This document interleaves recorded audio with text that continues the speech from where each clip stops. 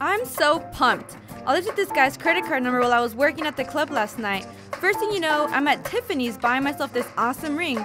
You know I'm not engaged, but it helps keep the tips up. And I could not pass up a new plastic dress.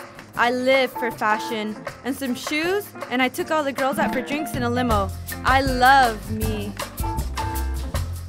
Get the new AID card, the card that pays you back to protect you from fraudulent charges. Card only valid in the great state of Texas. This offer is only made upon approval and only for customers with impeccable credentials. Not valid for individuals living in the northern hemisphere of the globe.